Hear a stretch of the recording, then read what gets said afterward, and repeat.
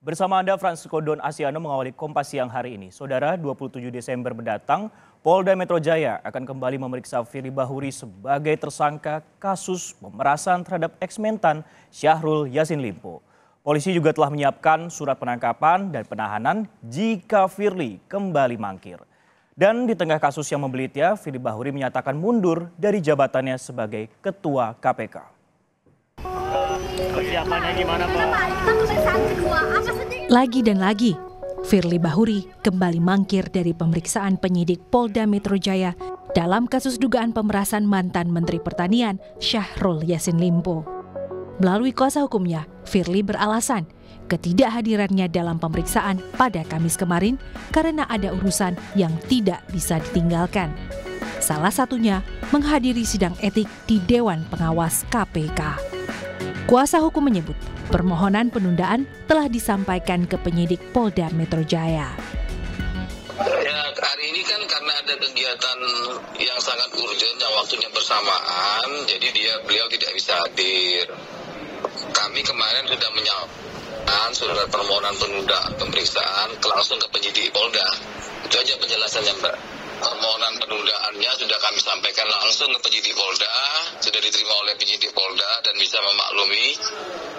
Kemudian eh, hari ini banyak kegiatan beliau gitu ya. Salah satunya mungkin eh, menghadiri pemeriksaan di Dewas. Namun, kenyataan berkata lain. Firly nyatanya juga tidak hadir di sidang etik yang digelar Dewas KPK Kamis kemarin. Meski demikian, sidang kode etik tetap berjalan walau tanpa kehadiran Firly.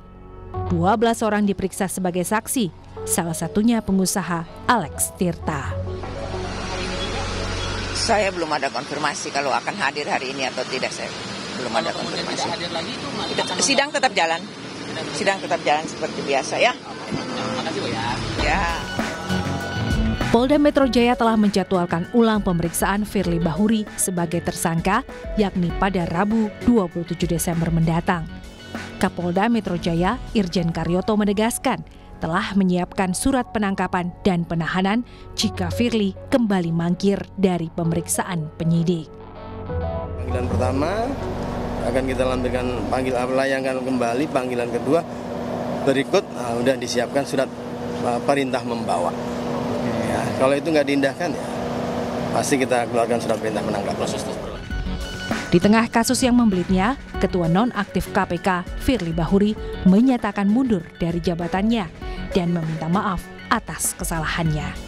Firly mengaku sudah mengajukan surat pengunduran diri melalui Mensesnek untuk diteruskan ke Presiden Joko Widodo. Saya katakan saya menyatakan berhenti dari Ketua KPK dan tidak melanjutkan masa perpanjangan.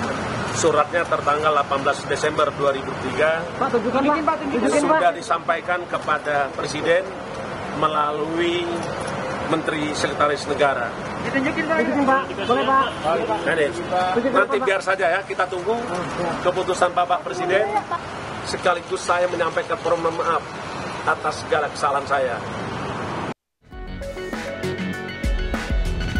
Koordinator Staf Khusus Presiden Ari Dwi Payana menyatakan Kementerian Sekretariat Negara telah menerima surat tertanggal 18 Desember 2003 dari Bapak Firly Bahuri kepada Presiden yang menyampaikan pengunduran diri beliau dari jabatan ketua dan pimpinan KPK.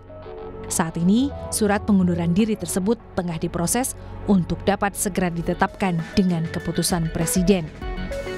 Sejak ditetapkan sebagai tersangka kasus dugaan pemerasan mantan Menteri Pertanian Syahrul Yassin Limpo, Firly Bahuri sudah dua kali diperiksa polisi, yakni pada 1 dan 6 Desember lalu. Firly sempat mengajukan gugatan pra-peradilan di Pengadilan Negeri Jakarta Selatan lantaran tidak terima dengan status tersangka. Namun, gugatan pra-peradilan yang diajukan Firly ditolak hakim.